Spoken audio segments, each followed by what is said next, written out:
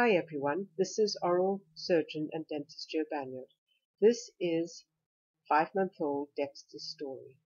He's a bundle of excitement and energy and greatly loved by his family, who I must thank very much for allowing me to use his story to help others. In the video, Base Narrow Canine in a three-month-old puppy, we see the earliest stage of this problem.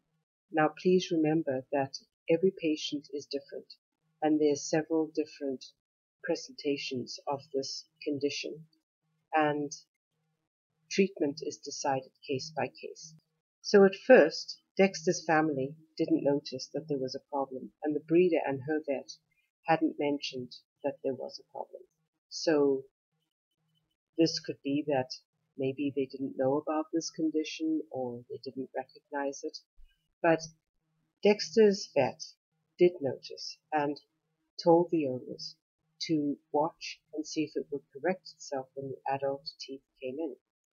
Now, what the owners told me is that he was a picky eater and he spat out dog biscuits. And they just thought it was his personality, which is a very easy mistake. When they took him in to be neutered, their veterinarian found this. The right side was fine, as you can see. The lower canine tooth fit in the gap between the upper right canine tooth and the third incisor tooth in front.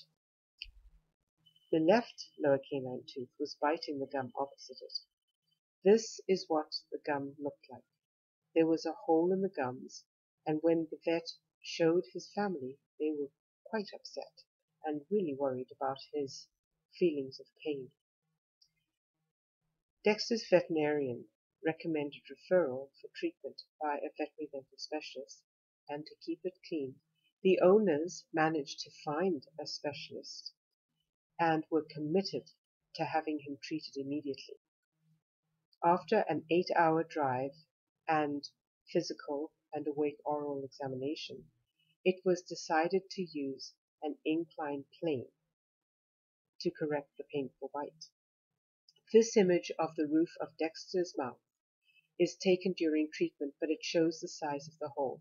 One of the concerns of these holes is that they can get deeper and deeper as the lower canine tooth erupts and can make a hole through the palate and into the nasal cavity, causing sneezing and discomfort. Here we see the right, middle, and left sides of the acrylic inclined plane. And here you can see the way the grooves guide the lower canine teeth into the correct positions. In part two of this series, we will find out what Dexter thinks of all this. Thank you for watching. Please subscribe, like, and share. Bye.